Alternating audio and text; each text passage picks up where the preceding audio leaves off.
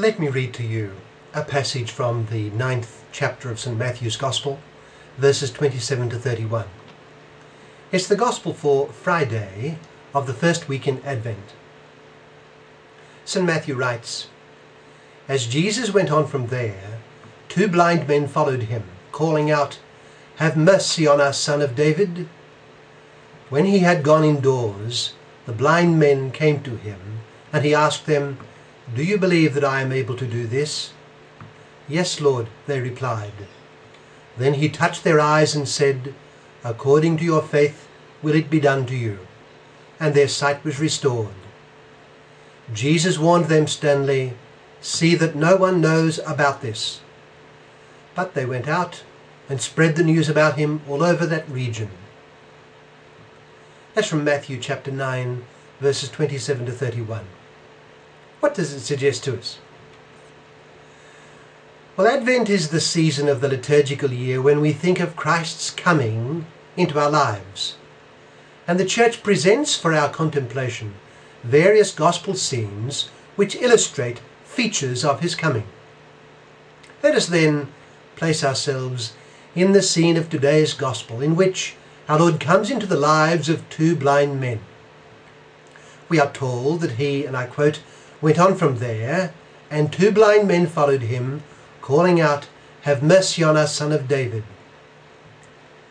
Now let us remember on another occasion when the blind man Bartimaeus, sitting by the roadside begging, heard that Jesus was passing by and immediately and vociferously called out to him that he show mercy.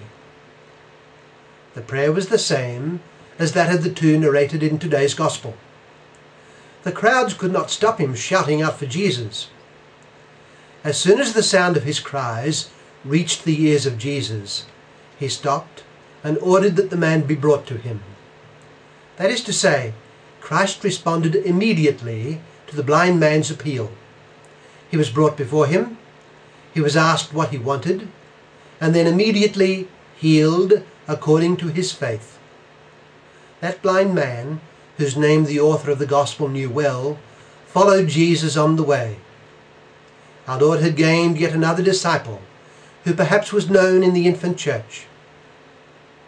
The two blind men in our Gospel today that I read earlier also appeal for mercy.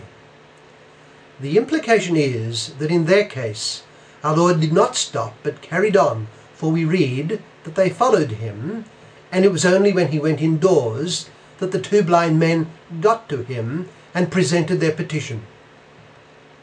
Our Lord asked if they believed he could do this for them. At their saying they did believe this, he immediately cured them.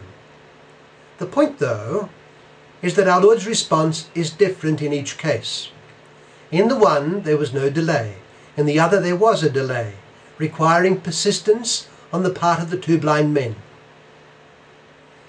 We remember our Lord and the Canaanite woman in Matthew chapter 15. She pursued him with her cries on behalf of her daughter, but he did not answer her a word. Finally, she cornered him, we might say, and had it out. Our Lord praised her for her great faith and persistence despite the initial rebuff and sent her off, her daughter healed. Two things we are surely reminded of by our gospel passage today. The first thing is that Christ comes bringing the mercy of God.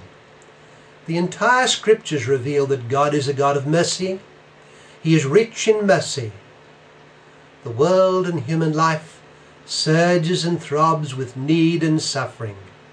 It hurts, it limps, it struggles, and it staggers along.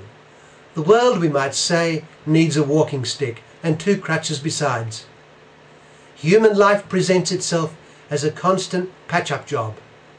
The car is always breaking down, the lights are always failing. Why is this so? Why is this beautiful world and this grand thing we call the life of man so often gasping for breath? We would never know the answer to this question were it not revealed. The fundamental reason for the suffering that plagues the life of man is man's own original and personal sin. Because of sin, he is bereft and he is adrift. But there is another thing that is revealed, and it is that the Creator is rich in mercy. He is a God who is full of compassion. It is Christ who reveals the love and power of God, and this loving power, in the face of human suffering, reveals itself in mercy. Jesus Christ is our merciful Lord. To him, to Jesus, we can say with the two blind men, as with Bartimaeus, Christ, that is, Son of David, have mercy. And the church makes this prayer of the two blind men of our gospel today and that of Bartimaeus her own prayer at the start of every Mass during the penitential rite. We all say, Christ have mercy. I remember watching a Polish movie and in it a Polish Christian died under a hail of arrows from the Islamic fighters. As he went down, he repeated out loud, Christ have mercy. In all our needs, we ought turn to Christ, the incarnate God, appealing for mercy and confident in his power and love. But there is a second point. Let us remember that we are not dealing with magic. It is God to whom we address ourselves, and he is free, and he knows what is best for us. He kept going when the two in the gospel today appealed to him. They had to follow and keep asking. So did the Canaanite woman. They had to pray constantly and despite appearances not lose heart. The test of our faith will come when we ask and do not seem immediately to receive. What would have happened if the two blind men had given up on our Lord when he did not stop for them, and indeed left them outside, as it were, when he entered the house? What would have happened if they had thought that he was not interested in helping them or that in fact he could not. They would not have been healed.